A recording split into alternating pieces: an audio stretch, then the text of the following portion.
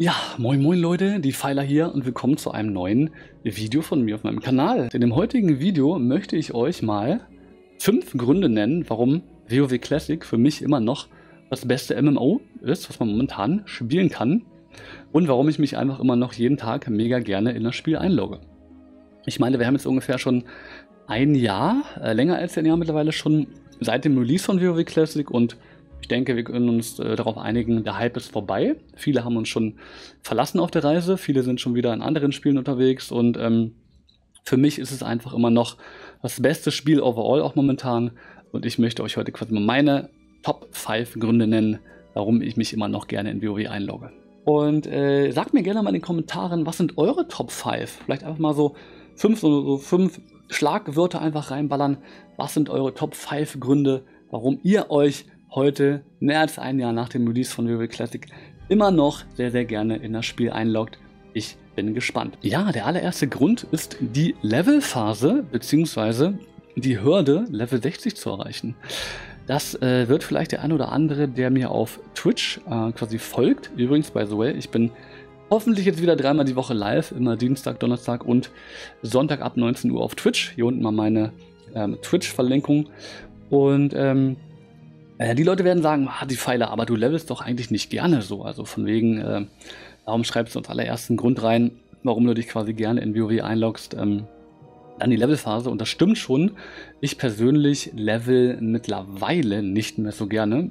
Ich vermute aber, das wird ein bisschen einfach mit meiner Übersättigung stattfinden. Also ich meine, ich spiele WoW Classic jetzt seit wirklich vielen, vielen Jahren mittlerweile schon auf dem ein oder anderen Server und deswegen, ich glaube, ich habe einfach schon so oft hochgelevelt, ähm, mich reizt die Phase an sich persönlich nicht mehr, aber ich weiß einfach von sehr vielen Leuten, ähm, dass das Leveln einfach für sie ein elementarer Bestandteil von dem Spiel ist.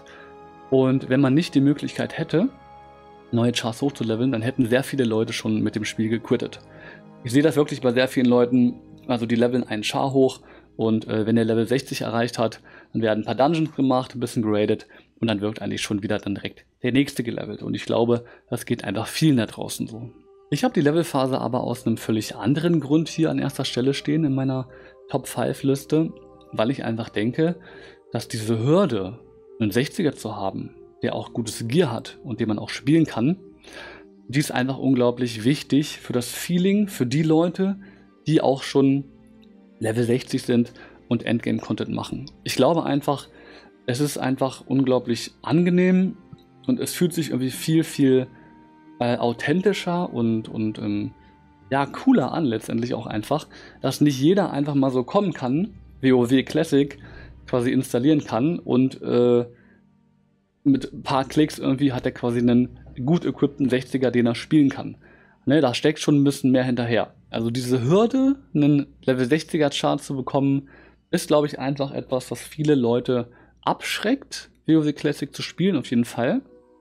Aber irgendwie macht es das auch für die Leute, die es dann spielen, weiß nicht, so einzigartiger. Und irgendwie dann ist es was Besonderes, wenn man einen High-Level-Char auf einem Server ist. Das ist einfach meine Meinung. Und vielleicht lüge ich mich auch einfach so ein bisschen selber an, wenn ich immer sage, so dass ich Leveln gar nicht mag. Weil, wenn ich mich so zurückerinnere, welche Phase eigentlich in WoW Classic mir am meisten gefallen hat, dann ist es ganz klar die Anfangsphase. Ne? Den allerersten Char hochzuleveln, auch jetzt hier in WoW Classic vor einem Jahr, mit den Leuten anzufangen auf einem Server, dann hoch zu leveln, Gear zu holen.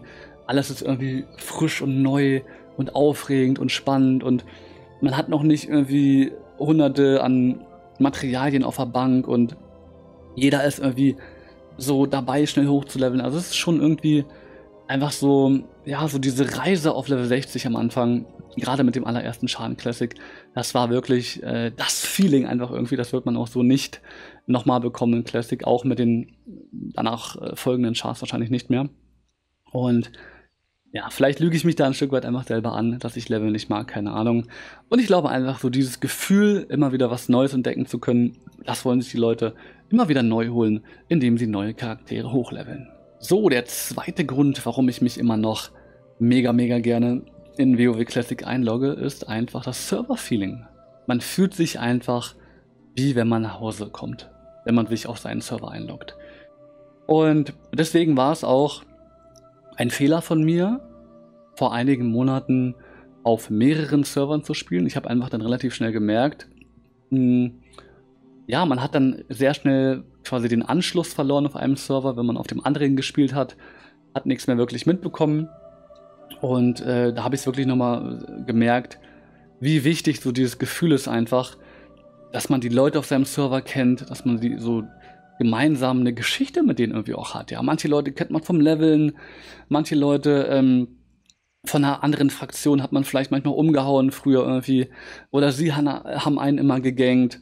Man hat so diese Beziehungen zu den Leuten und es ist nicht so eine Anonymität wie, wie in vielen anderen MMO-Spielen, finde ich. Man hat sich einfach so im Laufe der Zeit äh, ja, die, diese Community irgendwie sich da so reingelebt. Und das ist, glaube ich, einfach auch ein unglaublich starker Punkt, warum es den Leuten auch so schwer fällt, dann vielleicht auch andere Spiele mal auszuprobieren oder in anderen ähm, MMOs quasi anzufangen. Weil man einfach irgendwie so seine gewohnten Leute dann so hat, die man kennt, mit denen man PvP macht. Und das ist einfach so ein einzigartiges Feeling in WoW Classic immer noch. Und ähm, es gibt zum Beispiel auch im Vergleich auf, äh, zu Retail WoW keine Cross-Realm-Server. Ne, es gibt zwar Cross-Realm Battlegrounds, leider, aber das wird wahrscheinlich auch äh, sonst oder wäre zu umständlich wahrscheinlich gewesen, wenn man das nicht gemacht hätte. Kann ich schon ein bisschen verstehen.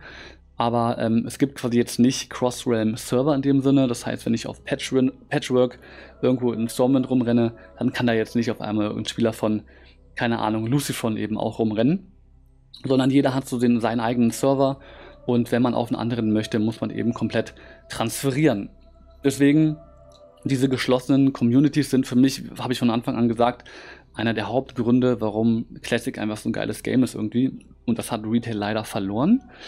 Und ähm, ja, deswegen spiele ich übrigens auch nicht so gerne BGs, weil man da eben oft Leute dann killt oder von Leuten gekillt wird, die auf anderen Servern spielen. Und das ist dann halt einfach nicht so was Persönliches, wie wenn die von dem eigenen Server sind, wo man dann vielleicht die Gilden kennt oder keine Ahnung, mit denen hochgelevelt hat oder gegen die gelevelt hat, wie auch immer, ihr wisst, was ich meine. Ähm, ja, deswegen bleibe ich bei dem Punkt. Das ist einfach immer noch einer der wichtigsten Gründe für mich. Diese geschlossene Serverkultur ist einfach irgendwie geil und deswegen Shoutout an alle Patchwork-Leute, deutscher PvP-Server Patchwork. Hashtag Patchwork in die Kommentare, wenn ihr auch auf Patchwork spielt. Kommen wir zum dritten Punkt. Loot und Items bedeuten noch etwas. Items sind wichtig. Ja, WoW Classic ist und bleibt eine Giermühle. Ja, ihr habt das eine T-Set voll, dann kommt der nächste Raid, ihr müsst wieder farmen und und und. Auf jeden Fall bin ich bei euch. Aber trotzdem finde ich, ist dieses System von den einzigartigen Items, die droppen können, hundertmal geiler als irgendwie jedes andere System, was ich mir irgendwie vorstellen könnte, was man auch zum Beispiel in WoW Retail gesehen hat. Ne? Also wir bekommen dann irgendwie personalisierten Loot oder äh, man muss dann mit den Items danach noch irgendwelche Sachen machen oder das Item an sich kann verschiedene Levelstufen oder so haben und dann droppt nicht die entsprechende Levelstufe. Nein, ich finde einfach, das Geile in WoW Classic ist einfach, die Items an sich sind einfach einzigartig es gibt sie nicht irgendwie in abgewandelten Formen. Und ähm, dieses Streben danach irgendwie, so dieses Streben nach bestimmten Items, die man einfach haben möchte aus irgendwelchen Gründen, sei es, weil sie irgendwelche nützlichen Eigenschaften im PvP haben, Skull of Impending Doom zum, zum Beispiel und solche Geschichten, weil sie mit irgendwelchen Ruffraktionen verbunden sind. Oder weil sie einfach mega selten Truppen sind, wie auch immer, warum auch immer. So dieses Streben, seinen Char mit den jeweiligen Items zu equippen, finde ich einfach, sind für mich ein Grund, äh, ist für mich ein Grund, warum WoW Classic einfach mit das geilste MMO ist einfach noch. Und ähm, jetzt kommen wir so ein bisschen auch, also vermischt sich das so ein bisschen mit den anderen Punkten. Da kommt auch das, dieses Server, der zweite Punkt, dieses Server-Feeling wieder mit rein, dass man dann auch quasi sehen kann auf seinem Server, was die Leute für ein Gear haben. Ne? Dass, dass man quasi das nicht transmoggen kann oder irgendwie verändern kann im Nachhinein. Ne? Man kann einen Enchant drauf machen und fertig. Haben das quasi einfach ein Item, so wie es quasi existiert, so wie es droppt, so sieht es auch am Spieler am Ende aus. Das finde ich einfach vom Gefühl her unglaublich wichtig, weil ich auch als PvP-Spieler einschätzen kann, okay, ist derjenige gut, ist derjenige schlecht, hat er gutes Gear, schlechtes Gear irgendwie. Das finde ich einfach so unglaublich wichtig in einem MMO. dass man von außen sehen kann, womit habe ich zu tun irgendwie. Und ähm, deswegen Loot, Items an sich und auch gerade, dass man manche Items nie bekommt. Ja, es gibt Leute, die waren 300 Mal in BRD und haben immer noch nicht die äh, Gladiator Chain. Äh, Finde ich einfach unglaublich wichtig und ähm, das ist einer der Gründe, warum ich mich immer noch mega gerne in WoW Classic einlogge. Kommen wir zum vierten Punkt, World PvP, Leute. Für mich einfach immer noch einer der Hauptgründe, was WoW Classic ausmacht. Einfach sich einloggen zu können, nach Fairwood zu fliegen, rumzureiten, Leute umzuklatschen und fertig. Oder umgeklatscht zu werden natürlich auch. Für mich einfach immer als PvP-Spieler immer noch einer der Hauptgründe, warum ich einfach WoW Classic immer noch jeden Tag feiere und mich gerne einlogge. Und ich verstehe auch immer gar nicht, wie so viele Leute raiden gehen können und dann irgendwie nur Raid loggen oder nur PvE machen oder irgendwie nur Gold farmen und ach ja, ich denke mir immer so, macht doch dann irgendwie auch mal geile Sachen mit eurem Loot. Aber gut, muss man vielleicht auch einfach verstehen, dass einfach vielen Leuten reicht dann einfach der PvE-Content halt einfach schon. Aber gerade im World PvP trifft man dann eben auch auf diese serverinternen Konflikte, dann trifft man auf die Gilden, die dann irgendwie die eigene Gilde mal dabei gehindert haben, irgendeinen World Boss irgendwie zu killen und dann ist man dann irgendwie nochmal extra ähm, quasi aggro gegen die und kämpft dann gegen die, holt Leute zu Hilfe, um den zu ganken, dann holt der wieder Leute. Also gerade das ist irgendwie das, was für mich das wahre PvP bedeutet und nicht irgendwie so Battleground PvP. Ich kann verstehen, dass Battleground PvP auch für viele Leute sehr äh, viel Spaß macht und es ist auch eine coole quasi Ergänzung zum PvP, aber so dieses wahre PvP ist für mich einfach auf meinem Server mich mit den Leuten zu bekriegen. Und äh, weil dann ist es irgendwie auch gerade nochmal so viel, viel bitterer, wenn man dann von den Leuten umgeklatscht wird die man dann irgendwie kennt, mit denen man hochgelevelt ist irgendwie. Und äh, jeder von euch kennt das irgendwie so, diesen einen Ser äh, Spieler auf eurem Server, den ihr irgendwie gar nicht abkönnt und mit denen ihr irgendwie schon seit Monaten eine Fehde quasi aufrecht habt. Und das ist einfach für mich ja, muss ich sagen, immer noch einer der Hauptgründe, warum ich mich jeden Tag sehr, sehr gerne in WoW Classic einlogge. Kommen wir zum fünften Grund, warum quasi WoW Classic für mich das beste MMO immer noch ist und ich mich sehr, sehr gerne einlogge. Und zwar Solo-Content. Das heißt Sachen, die ich einfach alleine machen kann. Und das wird viele wahrscheinlich überraschen. Ich denke mal, viele, äh, wenn, ihr euch, wenn ihr so eure eigene Top-5-Liste macht, dann wird auf jeden Fall der Raid-Content wahrscheinlich bei euch da drin sein. Und kann ich auch verstehen. Und ich finde auch, die Raids in WoW Classic sind einzigartig, die sind legendär, die sind gut gemacht. Da steht viel Lore dahinter. Viel Loot auch natürlich. Und ähm, wenn ich jetzt nicht persönlich das alles schon so oft gemacht hätte, dann wäre sicherlich auch der Raid-Content in meinen Top 5 drin. Hm, ich persönlich freue mich momentan einfach mehr auf Burning Crusade Raid-Content. Den habe ich nämlich noch nie so wirklich gemacht weil ich einfach damals im originalen Burning Crusade sehr viel Arena gemacht habe, sehr viel PvP gemacht habe, ja, und einfach nicht geradet habe.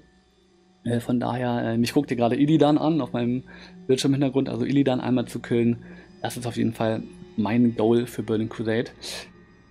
Ähm, nein, aber tatsächlich für mich sind die, ähm, der Solo-Content einfach tatsächlich der Hauptgrund, warum ich mich immer noch mega gerne in WoW einlogge. Und äh, das, das, sind unglaublich viele Sachen, die man da machen kann. Ne? Äh, sei es irgendwelche neuen kreativen Goldfarm-Methoden zu finden. Es muss nicht immer Boosten bedeuten. Es kann auch einfach sein, mit einem Schurken zum Beispiel, welche Stealth-Runs sich ausdenken, wo man Truhen looten kann oder ähm, wo man irgendwelche Bosse alleine machen kann, in Diamol und und und. Da gibt es unglaublich viele Dinge, die man auch sich noch überlegen kann und auch einfach selber kreativ sein kann, wo man eben sich solo mit seinem Char beschäftigen kann. Und für mich ist auch Solo-Content, wenn ich Sachen alleine mache, sehr entspannt irgendwie immer. Ich weiß auch nicht. Ich brauche nicht immer eine Gruppe oder einen Raid oder wie auch immer. Ne, das kann auch irgendwie einfach nur Kräuter oder Ärzte sammeln sein, Aha-Trading, ähm, Exploring zum Beispiel auch, das kennen viele gar nicht mehr. Im ursprünglichen WoW Vanilla 2005 gab es so eine richtige Exploring-Szene, sage ich mal. Die sind damals wirklich über Berge immer gewandert, in, Iron, äh, in, in, in Dunmorrow und so weiter, hat man da neue Routen äh, gesucht, wo man in die Berge gehen konnte und neue Sachen entdeckt, dass man unterstormen konnte und so weiter. Das musste ja alles irgendwann mal entdeckt werden von irgendwelchen Leuten. Das geht leider mit dem heutigen Client nicht mehr so gut. Ihr müsst euch vorstellen, das originale Vanilla hatte irgendwie eine andere Engine oder anderen Client, keine Ahnung. Könnt ihr gerne mal in die Kommentare schreiben, wenn äh, jemand von euch da mehr Infos hat. Auf jeden Fall war es damals leichter, Berge hochzulaufen. Man konnte quasi, wenn das jetzt hier der Berg war, konnte man mit so einer Technik so seitlich am Berg hochlaufen. Da konnte man eben einfach viel mehr Gegenden erreichen, die man heute leider nicht mehr erreichen kann. Und äh, ja, das ist auch alles, das waren so Sachen, die einfach Solo-Content mäßig sehr viel für die Spieler quasi geboten haben. Genau, das waren meine Top 5, Leute. Jetzt haben wir es auch geschafft. Und äh, sagt mir gerne mal in den Kommentaren, was sind eure Top 5? Vielleicht einfach mal so fünf, so, so fünf Schlagwörter einfach reinballern.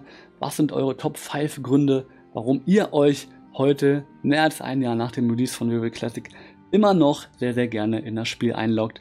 Ich bin gespannt. Und ich würde sagen, wir sehen uns auf jeden Fall im nächsten Video oder auf Twitch, wo ich dreimal die Woche live bin. Immer Sonntag, Dienstag und Donnerstag ab 19 Uhr. In dem Sinne, bis dann denn, euer Defiler. Ciao, ciao.